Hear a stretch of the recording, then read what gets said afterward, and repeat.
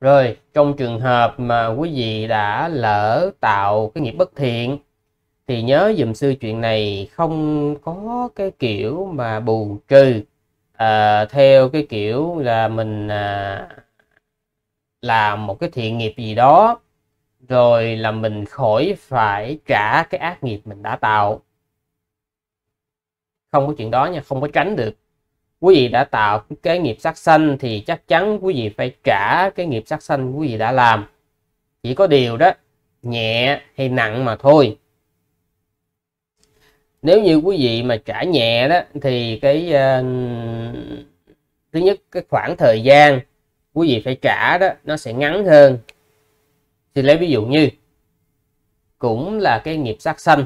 Ừ, cũng là cái nghiệp sát sanh mà bà Malika đấy, bà giết một con dê mà cái số kiếp đương nhiên là sau khi bà đi địa ngục, ngạ quỷ.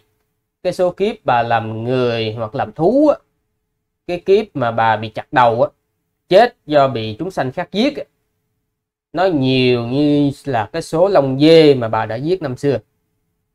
Ừ. hồi xưa bà chỉ giết một con thôi nhưng mà cái kiếp làm người hay thú mà bị người ta chặt đầu giết hại trở lại đó để trả nghiệp á nó nhiều như số lông dê.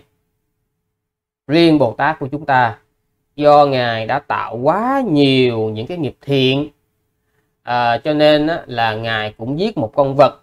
Nhưng mà cái số kiếp mà ngài phải trả đó nó chỉ có 7 kiếp thôi.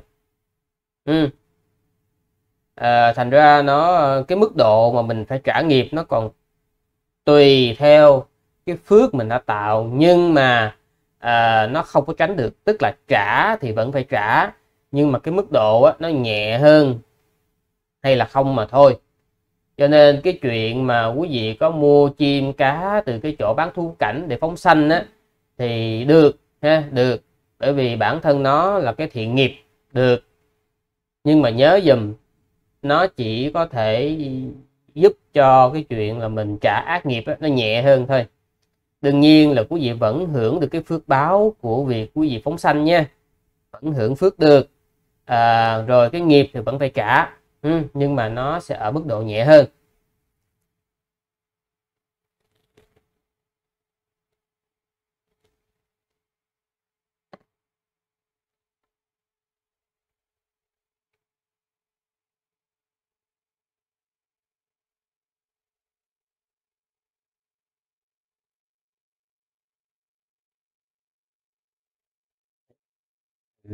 Chỗ người ta ấp trứng chưa đủ ngày đem ra bán. Đấy thấy chưa? Cho nên đó là có nhiều cái trứng hột vịt lộn là nó còn sống đấy. Thành ra là mình tránh cái món đó đi ha.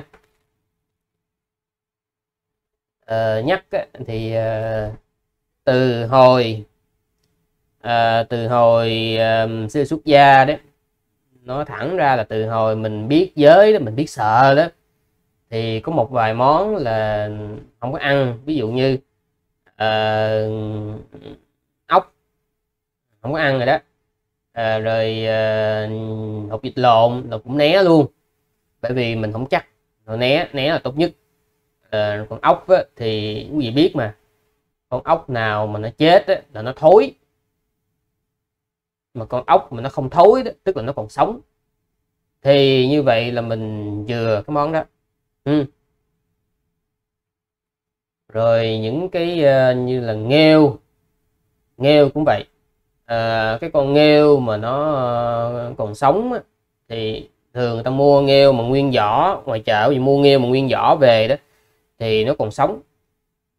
À, chứ còn mà nghêu nó mà ngậm miệng mà mình hay gọi là nghêu chết á, thì nó nó sẽ thối. Thì không ai mà đem mấy con nghêu đó ra mà người ta nấu hết trơn ấy thành ra là khi mà sư thấy ờ, phật tử mà cúng dường cái cái canh nghêu đó à, mà nó có mấy con nghêu mà còn nguyên vỏ đó, sư tránh sư không có dục. Bởi vì mình có cái lòng nghi ngờ. Sư không có tiện hỏi. Đôi khi thì phật tử họ làm cái lễ trai tăng cúng dường, họ đem lên thì có khi sư cũng nhỏ trong chùa, cái vai vế sư cũng còn nhỏ trong chùa. Ra là sư không có tiện hỏi à, nhưng mà mình có cái lòng nghi ngờ đó thì mình không có dùng.